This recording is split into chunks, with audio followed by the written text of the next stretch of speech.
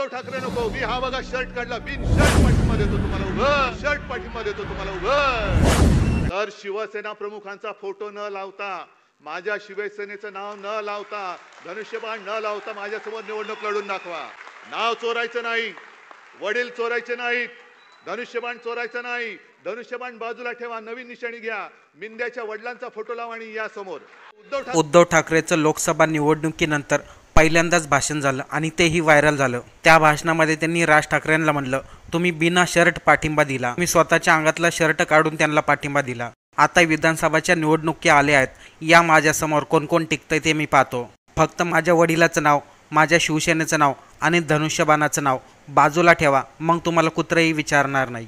उद्धव ठाकरेंनी एकनाथ शिंदेला देखील खरे बोल सुनावले. उद्धव ठाकरे म्हणले अरे त्या मिंदेनी माझ्या बापाचा फोटो लावला धनुष्यबाण लावला शिवसेनेचं नाव लावलं आणि दुसरीकडे हा माझा भाऊ शर्ट काढून पाठिंबा देतोय आणि म्हणतोय मोदीला मी बिन शर्ट पाठिंबा दिला. त्याला मोदींनी शपथविधीला देखील बोलवलं नाही. जर विधानसभा निवडणुकीमध्ये यांच्यात हिंमत असेल तर माझ्या वडिलांचा फोटो लावू नये धनुष्यबाण लावू नये शिवसेनेचं नाव लावू नये स्वतःचा पक्ष काढा आणि माझ्यासमोर या. मग बघा कोण टिकतंय समोर. पहा हे उद्धव ठाकरेचं व्हायरल झालेलं भाषण. काय म्हणतात उद्धव ठाकरे? आणि मी बिंद्याना सांगतोय भाजपला सांगतोय जे भास्करराव तुम्ही आणि संजयराव तुम्ही बोललात मी आज त्यांना पुन्हा एक आव्हान देतोय जर तुम तुम्ही षंढ नसाल तर शिवसेना प्रमुखांचा फोटो न लावता माझ्या शिवसेनेचं नाव न लावता धनुष्यबाण न लावता माझ्यासमोर निवडणूक लढून दाखवा.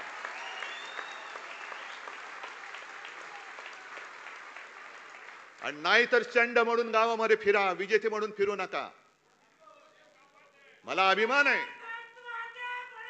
एका गोष्टीचा मला अभिमान जरूर आहे की या वेळेला आम्ही शिवसेना प्रमुखांखेरीज दुसरा कोणाचाही फोटो वापरला नाही आणि यापुढे सुद्धा वापरणार नाही. मोदींचा अजिबात वापरणार नाही. आणि मोदीजी मी तुम्हाला आमंत्रण देतोय. विधानसभेचा प्रचार महाराष्ट्रात आत्तापासून सुरू करा. मी आहे आणि तुम्ही आहे. फक्त या शंडाना बाजूला ठेवा. नाव चोरायचं नाही. वडील चोरायचे नाहीत. धनुष्यबाण चोरायचं नाही. धनुष्यबाण बाजूला ठेवा. नवीन निशाणी घ्या. मिंद्याच्या वडिलांचा फोटो लावा आणि या समोर. अरे माझ्या वडिलांचे फोटो लावून स्ट्राईक रेट सांगता तुम्ही? चंड कुठले? यांच्याकडनं आपल्या राज्याचं काय भविष्य भविष्य होणार आहे? पण एक गोष्ट बरी झाली की या निवडणुकीमध्ये आपले कोण आणि परके कोण मित्र कोण आणि शत्रू कोण हे स्पष्ट झालेले आहे. काही जणांनी केवळ उद्धव ठाकरे नको म्हणून त्यांना बिन शर्ट पाठिंबा दिला.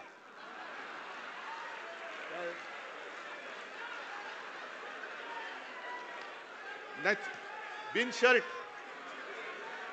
अरे उघड पाठिंबा म्हणजे बिन शर्ट.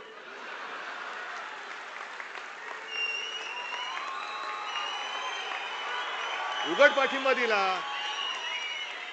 म्हणजे बिन शर्ट ना? मग तू नाही बरोबर का चूक आहे. काय? नाही नाही उद्धव ठाकरे नको. मी हा बघा शर्ट काढला. बिन शर्ट पाठिंबा देतो तुम्हाला. उघड.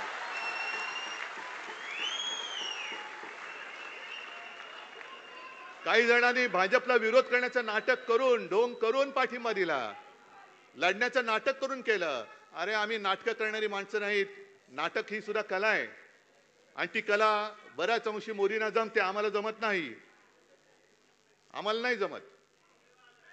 पण माझी तर अशी इच्छा होती की आपल्या महाराष्ट्रातली निवडणूक ही पाच टप्प्यात नाही आणखीन दहा टप्प्यात व्हायला पाहिजे होती. रोज यांची साल्टी काढली असती मी. रोज. कारण एकदा बघा आपल्याला शिवसेना प्रमुखाने काय सांगितलं म्हणून मी म्हटलं ना की मी नम्र आहे. सगळ्यांशी नम्रपणाने वागतो. तुम्ही प्रेमाने वागा आम्ही प्रेमाने वागू. पण जर पाठीत वार कराल तर आम्ही वाघ नख काढू. आम्ही वाघ नख काढू. आता मुनगट्टी वार ज्यांचे नख उपटले चंद्रपूरमध्ये ते लंडनमध्ये पुन्हा वाघ नख आणायला चाललेत. अहो कशाला त्या छत्रपतींचा तुम्ही अपमान करताय? कशाला अपमान करताय? एक तर तुमची पात्रता नाही गद्दार मानसिकतेचे तुम्ही. भगव्याशी बेईमानी करणारी अवलाद तुमची.